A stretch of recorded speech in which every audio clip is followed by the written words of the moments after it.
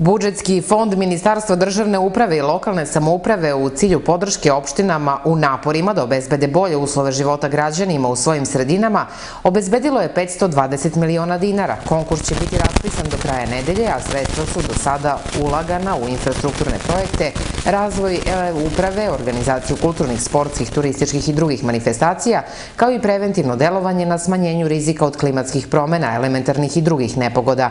Ministarstvo je tokom poslednje dve godine u ove projekte uključilo 106 gradova i opština, a uloženo je 810 miliona dinara u 136 programa. Srpska napredna stranka i Socijalistička partija Srbije će, kako sada stvari stoje na izbori, izaći odvojeno, piše Blic. List navodi da konačna odluka nije doneta, ali prema informacijama iz više izvora u SNS-u i SPS-u izvesnije je da će ove dve stranke pojedinačno meriti snage na biralištima. Kako kažu sagovornici lista konačnoj odluci će najviše kumovati stanje na terenu, odnosno ko će sve od opozicije izaći na izbore, ali i to da li u ovom slučaju 1 plus 1 daju 2. Kako navodi u SNS-u se o svakoj odluci dugo i ozbiljno razmišlja, ali se i revnosno ispituje javno mnjenje i reakcije birača.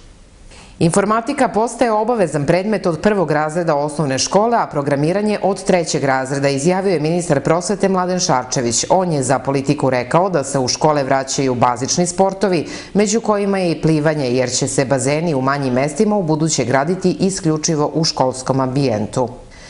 Putevi prvog, drugog i trećeg prioriteta u Timočkoj krajini su vlažni, vidljivost je dobra, sitnih odrona ima duž svih nestabilnih kamenih kosina u klisurama, u usecima, zasecima, a najizraženiji su na Đerdapskoj magistrali, na državnom putu Paraćin-Zaječar, na deonicama Donja Mutnica, Krivovirsko brdo i Mirovo, na putu Grljam-Vratarnica i na putu Boljevac-Knjaževac, koje se nalaze u strasu izgradnje gasovoda, magistralni gasovod, moguće je stvaranje blata na putu u dužini od 100 do 300 metara. Srpska pravoslavna crkva danas slavi svog utemeljivača. Od polovine 19. veka Savinjan se slavi kao školska slava. Sveti Sava je slavljen i kao zaštitnik zanata. U Zaječarskom pozorištu biće priređena Svetosavska akademija, u holu pozorišta biće priređena izložba fotografija likovnih i literarnih radova učenika. Početak Svetosavske akademije je u 19 sati.